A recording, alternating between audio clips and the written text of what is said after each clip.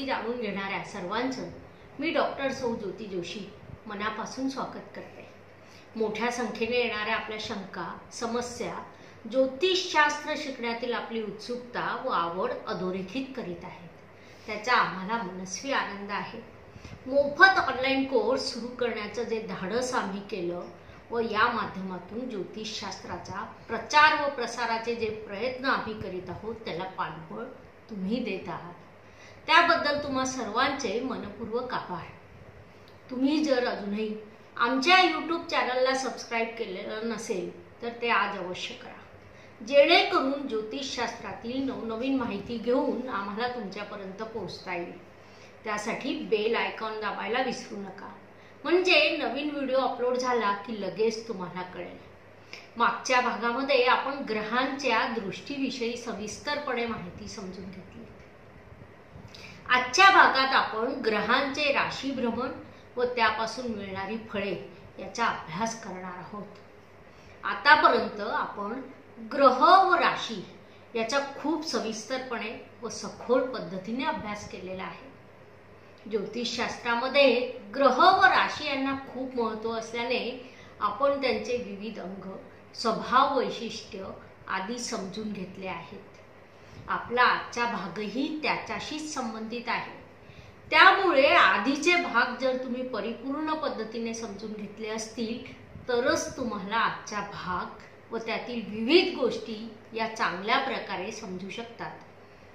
म्हणून माझी तुम्हा सर्वांना पुन्हा विनंती आहे की अजूनही जास्त वेळ झालेला नाही. आधीचे भाग समजलेले नसतील तर त्याचा अभ्यास पुन्हा सुरू करून ते समजून घ्या. काही शंका असतील तर मला ऑनलाईन विचारा. तुमच्या सर्व शंका समस्यांचे निरसन करण्याचे प्रयत्न मी नक्की करेन. मागच्या भागामध्ये आपण ग्रहांच्या दृष्टीचा अभ्यास केला. आता हे ग्रह कोणत्या राशीत किती दिवस राहतात व फळे नेमकी कधी देतात हे पाहायचे आहे. आजच्या भागातील माहिती ही शास्त्रीय असली तरी समजण्यास सोपी आहे. त्यात जर तुम्ही आधीच्या भागांचा परिपूर्ण अभ्यास केलेला असेल तर आजचा भाग तुम्हाला सखोलपणे समजून घेता येईल. आपण याआधीही अभ्यासले आहे की अवकाशामध्ये ग्रह हे सातत्याने भ्रमण करीत असतात. प्रत्येक ग्रहाची गती ही वेगवेगळी असते. भ्रमण करीत असताना ग्रह एका राशीतून दुसऱ्या राशीत प्रवेश करीत असतात. या भ्रमण काळात ते शुभ व अशुभ फळांचा वर्षाव करीत असतात. त्याच्या जातकाच्या आयुष्यावर खूप मोठा परिणाम घडून येत असतो. त्यांना एका राशीतून दुसऱ्या राशीत जाण्यासाठी किती वेळ लागतो व ते फळ त्या राशीला कोणत्या कालखंडात देतात याचा अभ्यास आपण आता करणार आहोत. ग्रहांचे राशी भ्रमण व फळ देण्याचा काळ याचा अभ्यास करीत असताना आपल्याला ग्रहांचे गोचर म्हणजे काय हेही समजून घ्यावे लागेल. एका वाक्यात गोचर या शब्दाचा अर्थ स्पष्ट करायचा असेल तर गोचर म्हणजे निरंतर चालत राहणारा होय. ग्रह भ्रमण करीत असताना एका राशीतून दुसऱ्या राशीमध्ये प्रवेश करतो तेव्हा दुसऱ्या राशीतील त्या ग्रहाच्या स्थितीला ज्योतिषशास्त्रामध्ये गोचर असे म्हटले जाते. प्रत्येक ग्रह हा जातकाला गोचरच्या विविध भावानुसार व राशीनुसार शुभ अशुभ फळ प्रदान करीत असतो. त्याचाही अभ्यास आपण आज करणार आहोत. सूर्यमालेतील पहिला व सर्व ग्रहांचा राजा मानला जाणारा ग्रह म्हणजे रवी होय. रवीला एका राशीतून भ्रमण पूर्ण करण्यासाठी एक महिना म्हणजे तीस दिवस लागतात. याचाच अर्थ एका राशीमध्ये रवी तीस दिवसांपर्यंत विराजमान असतो. मात्र त्याचा फळ देण्याचा काळ हा सुरुवातीचे फक्त पाच दिवस असतो. रवी हा सिंह राशीचा स्वामी आहे. रवी जेव्हा गोचरीने तीन सहा दहा व अकरा. या भावांमध्ये येतो तेव्हा तो शुभ फळ देत असतो. उर्वरित सर्व भावांमध्ये रवीची फळं ही जातकाला अशुभ मिळत असतात. सूर्यमालेतील पुढचा ग्रह चंद्र हा एका राशीमध्ये फक्त सव्वा दोन दिवस असतो. म्हणजे चंद्राला एका राशीतून दुसऱ्या राशीत प्रवेश करण्यासाठी फक्त सव्वा दोन दिवस लागतात. या कालखंडातील शेवटच्या दोन तासातच चंद्र फळे देत असतो. चंद्र हा कर्क राशीचा स्वामी आहे. चंद्र एक तीन सहा सात नऊ दहा व अकरा या भावांमध्ये शुभ फळ देत असतो. तसेच चार आठ बारा या भावांमध्ये चंद्राची फळं ही अशुभ असतात. सूर्यमालेतील पुढचा ग्रह म्हणजे मंगळ. त्याला एका राशीतून दुसऱ्या राशीत प्रवेश करण्यासाठी साधारणत पंचेचाळीस दिवसाचा कालखंड लागतो. म्हणजे मंगळ एका राशीमध्ये जवळपास पंचेचाळीस दिवस विराजमान असतो. मात्र या पंचेचाळीस दिवसामधील पहिले फक्त आठ दिवस मंगळ जातकाला फळे देत असतो. मंगळ हा ग्रह मेष व वृश्चिक या राशीचा स्वामी आहे. मंगळ तीन सहा दहा व अकरा या भावांमध्ये शुभ फळ देत असतो. उर्वरित सर्व भावांमध्ये मंगळाची फळे फळे ही अशुभ असतात. सूर्यमालेतील पुढचा ग्रह बुध असून तोही रवीप्रमाणे एका राशीमध्ये एक महिना म्हणजे तीस दिवस विराजमान असतो. म्हणजे बुध या ग्रहाला एका राशीतून दुसऱ्या राशीत प्रवेश करण्यासाठी जवळपास तीस दिवसांचा कालखंड लागतो. बुध या ग्रहाचे वैशिष्ट्य म्हणजे तो राशीला पूर्ण कालखंड म्हणजे तीसही दिवस फळ देत असतो. बुध हा ग्रह मिथुन व कन्या राशीचा स्वामी आहे. बुध हा ग्रह दोन चार सहा आठ दहा व अकरा. या भावांमध्ये शुभ फळ देतो. तसेच उर्वरित भावांमध्ये बुधाची अशुभ फळे मिळत असतात. सूर्यमालेतील पुढचा ग्रह गुरु असून तो एका राशीमध्ये जवळपास एक वर्ष व एक महिना म्हणजे साधारणपणे तेरा महिने विराजमान असतो. याचाच अर्थ गुरुला एका राशीतून दुसऱ्या राशीत प्रवेश करण्यासाठी तेरा महिन्याचा कालखंड लागतो. यालाच गुरु बदल असेही म्हणतात. गुरु बदल ही ज्योतिषशास्त्रातील खूप मोठी घटना असते. गुरु बदलामुळे जातकाच्या आयुष्यात खूप मोठे बदल घडून येतात. तेरा महिन्याच्या कालखंडात गुरु सहा ते आठ महिना या तीन मधल्या तीन महिन्याच्या कालखंडात विशेष फळ देत असतो.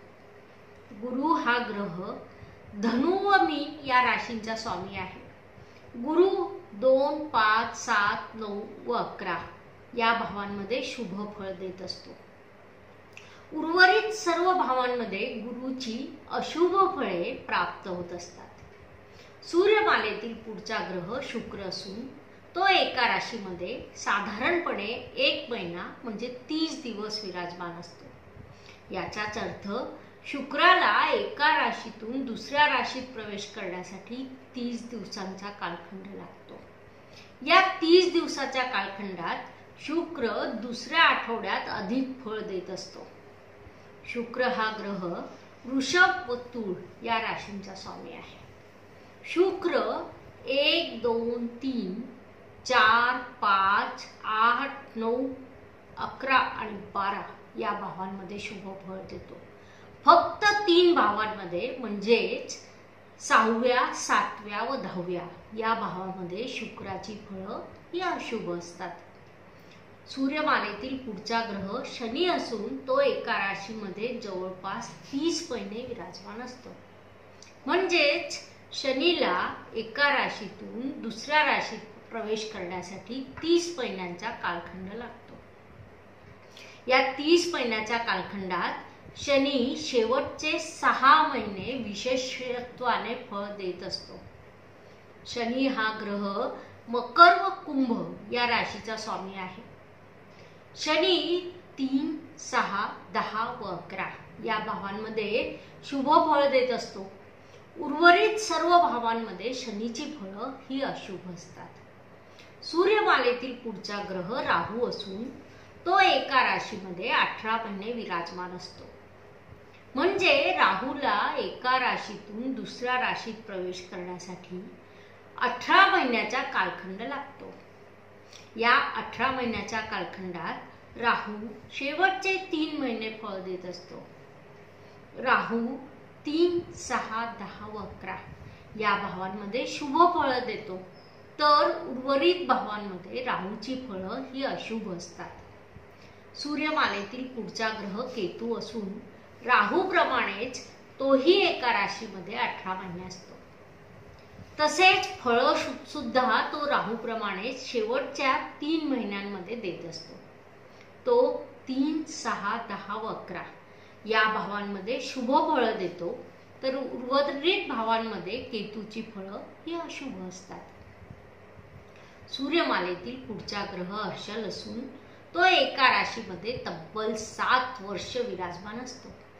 हर्षल या ग्रहाची भ्रमण करण्याची गती ही संथ असल्यामुळे एका राशीतून दुसऱ्या राशीत प्रवेश करण्यासाठी त्याला सात वर्षे एवढा मोठा कालखंड लागतो. हर्षल या ग्रहाचा फळ देण्याचा काळ हा त्याचे स्थान व राशी यावर अवलंबून असतो. सूर्यमालेतील पुढचा आणि शेवटचा ग्रह म्हणजे नेपच्यून या ग्रहाची गती हर्षलपेक्षाही संथ असल्यामुळे त्याला एका राशीतून दुसऱ्या राशीत प्रवेश करण्यासाठी जवळपास चौदा वर्ष व नऊ महिने एवढा मोठा प्रचंड कालखंड लागतो. मुख्य म्हणजे नेपच्यूनची फळे देण्याचा कालखंड हा पूर्ण काळ असतो. अशा प्रकारे ग्रह हे एका राशीतून भ्रमण करीत आपल्या दशेनुसार जातकाला फळही देत असतात. सोबतच गोचरद्वारे इतर भावांवरही आपला प्रभाव टाकत असतात. मी पुन्हा एकदा आपल्याला सांगते की आधीच्या भागांचा जर तुम्ही परिपूर्ण अभ्यास केलेला असेल तरच आजचा हा भाग तुम्हाला व्यवस्थित समजू शकतो. आजच्या भागासाठी एवढं पुरेसं आहे. आज आपण इथे थांबूया.